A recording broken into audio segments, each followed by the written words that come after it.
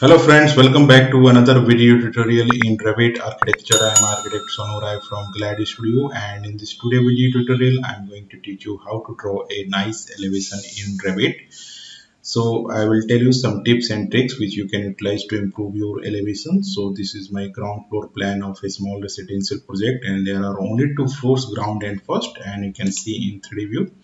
This is the project and I am going to tell you how to improve your elevation. So i am going to my project browser here and i am going to my front elevation that is south elevation and i will select this one and i will select here in visual style hidden line. So basically you can use black and white presentation of elevation for construction sites. And if you want to make presentation to your client you can go for realistic and then you can also select consistent colors here and uh, it. and you can use this also for your presentation. So for construction site you can use hidden line. And it is very basics and simple elevation. So you can improve this by going to your visual style. And then you can select graphic display option. And in graphic display option you can select these silhouettes here. And I'm going to my category here of silhouettes you can uh, select any other line here. And you can also select wide lines and you can apply here. And you can see this is becoming better here. And you can see these all lines are much uh, darker now. So you can use this to improve your silhouettes and you can increase the thickness of these lines.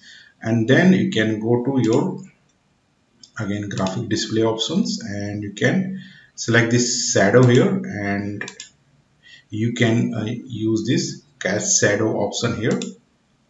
And I will go and apply here cast shadow and you can see this shadow is making this more presentable and uh, in detail so that anyone can understand the thickness of this uh, ex ex extrusion and uh, depth of the any part of the building. So it is easy to understand if you will cast shadow here.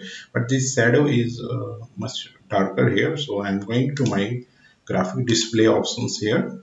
And now i will go to lighting here. I will select lighting. And then you can select uh, sun lighting also. And you can improve ambient lighting. And this is the most important. I'm going to reduce the shadow here and I will apply here. And you can see this shadow is much lighter and it will improve your elevation presentation. So you can see this is much improved here.